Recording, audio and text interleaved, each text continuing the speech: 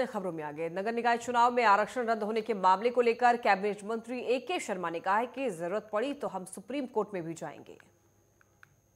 उत्तर प्रदेश में 2022 के वर्ष में जो निकाय चुनाव होने वाले थे, उसमें कुछ याचिकाएँ माननीय उच्च न्यायालय में दाखिल हुई थी।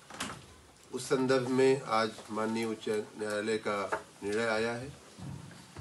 राज्य सरकार का सोचना है कि माननीय उच्च न्यायालय के निर्देशानुसार आयोग गठित करके, ट्रिपल टेस्ट का, की जो प्रक्रिया है उसे पूर्ण करके हम ओबीसी को आरक्षण देने के बाद ही हम चुनाव कराएँगे। और उसके बाद जो चुनावी प्रक्रिया है उसको हम करेंगे। हम इसके कानूनी पहलुओं को और भी हम गंभीरता से, गहराई से अध्ययन कर रहे हैं। और अगर आवश्यक होगा तो हम सुप्रीम कोर्ट भी जाएँगे, हमारे वकीलों की सलाह लेकर के। हम इस विषय में अध्ययन कर रहे हैं।